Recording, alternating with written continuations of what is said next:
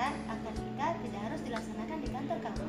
Surat edaran dari Dirjen Bimas Kemenak RI mulai Juni 2020 akad nikah sudah bisa dilaksanakan di Kabar gembira untuk para calon pengantin. Mulai 10 Juni 2020, akad nikah sudah bisa dilaksanakan di rumah, masjid, maupun gedung pertemuan. Ketentuan ini tertuang dalam Surat Edaran Dirjen Bimas Islam Kemenak RI tentang pelayanan nikah menuju masyarakat produktif aman COVID. Kepala Kantor Kementerian Agama Kota Lubuk Linggau Haji Ashari Rahardi menjelaskan, ketentuan dalam surat edaran tersebut sudah langsung disosialisasikan kepada para kepala KUA di delapan kecamatan Kota Lubuk Linggau.